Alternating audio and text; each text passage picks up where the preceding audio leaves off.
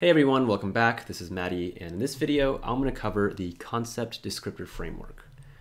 The concept descriptor framework is a method of breaking down ideas while we take notes to their most basic elements. To explain the idea better, let's do a thought experiment. Imagine that you're a chef and you're speaking to an alien, Meepo, and you want to explain how to make a hamburger. Well, you'd probably start off by listing the main ingredients of a hamburger buns, patty, lettuce, and tomato. Then you might walk through the steps of grilling the patty, cutting the tomato and lettuce before assembling your meal. But Meepo is very foreign and has never heard of any of these ingredients and asks questions like, what's the color of a tomato? What do you use to cut lettuce? And hundreds of other similar questions. You'll of course be able to answer these very quickly, almost instinctively, because you understand this process extremely well. So let's see how we can use the concept descriptor framework to make flashcards. To make concept flashcards, we use colon and the angle brackets, and to make descriptor flashcards, we use semicolons and angle brackets. And I'm just going to continue off using the example from the thought experiment. So hamburger is our concept. To make hamburger a concept flashcard, let's use a colon followed by a greater than angle bracket. You'll see that when you make a concept flashcard, it automatically becomes bolded.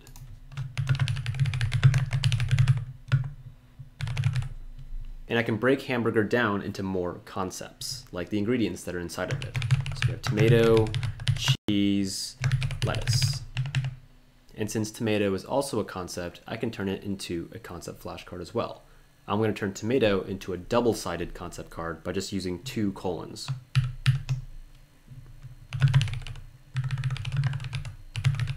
Just like basic flashcards, the arrow between the flashcard shows which direction of practice it's going in. Now let's move on to the descriptor flashcards, which describe concepts. Descriptor cards should only be made as children of concepts.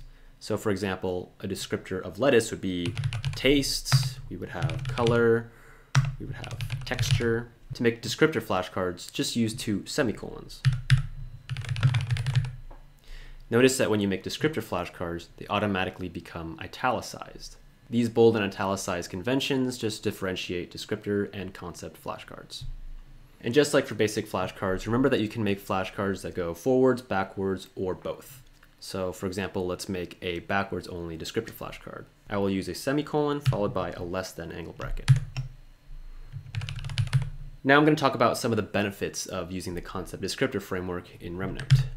First is that concepts are prioritized in the RemNote search. Whenever you search through your database using Control plus P to open a document or Control plus S to open a portal, anything you type in, concepts will be prioritized and shown at the top. Next is that when you make descriptor flashcards, they'll also prompt you to recall the concept.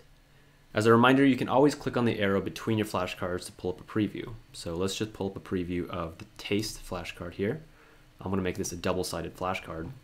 And you can see that the descriptive flashcard, taste, is also asking me to recall the concept, which is lettuce, not just the flashcard front and back itself.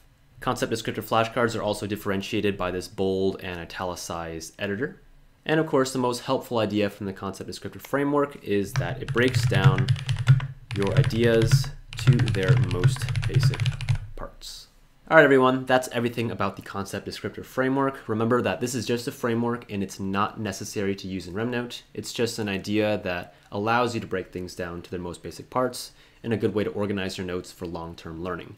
But definitely not a requirement to use in RemNote. Feel free to use the basic flashcards, they're much more intuitive. But if you want to organize your notes in a more methodical way, this is a great approach. I'll see you guys in the next video.